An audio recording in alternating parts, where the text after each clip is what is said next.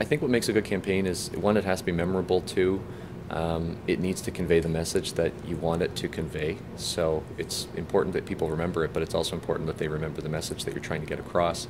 Um, and ultimately, it's not a good campaign unless it translates into into sales. So you need to see that direct correlation between um, the uh, the effort that you put into it to the uh, to the kind of promotions you put out there, and then what kind of sales you see on the back end.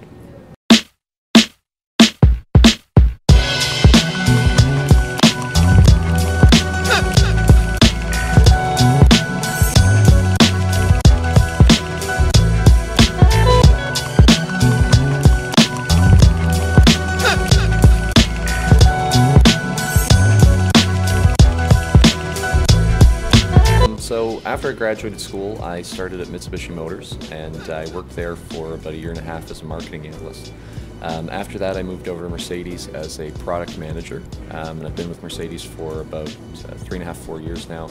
Um, after being a product manager, I moved into uh, a new role where I now am the manager of uh, sales planning and incentives, uh, and I, I oversee um, volume targets, sales targets, uh, sales campaigns, and um, basically come up with the special discount programs that we need in order to hit our sales number or hit our target for the month.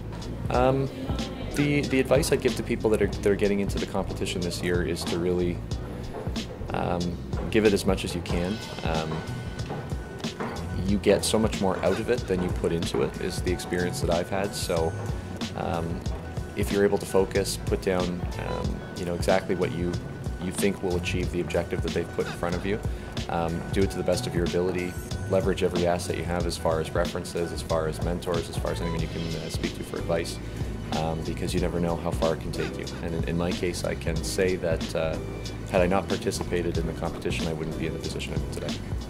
I don't know that it's the, the craziest work story, but working in sales now, um, there's a real clear push to achieve that number, to achieve that directive every month and we really saw it come the end of 2012 when we were really pushing to achieve our 2012 sales number. Um, all of us were on our phones, on our Blackberries till well into the evening on New Year's Eve on the 31st, trying to do what we could in order to hit the number. I think marketing a car these days is becoming more and more challenging because the the competition is getting far more intense. The, the quality of the products is getting um, far more uh, homogeneous. You don't really see cars that are uh, heads and shoulders above their competition like they you used to see in the past.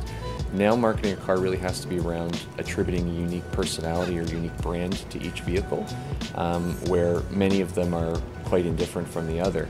Um, it can be a bit challenging in, in trying to make sure that you do create that unique brand, you do create that unique identity, and that it's something that people can gravitate towards, that it's something that people feel speaks to them and best represents them as a person for making that purchase. Um, thinking back on my university experience and um, what I learned in different courses, what I learned from different people, and what I apply to my career now, my job now, I can say the Top Ad is probably the best class I ever took.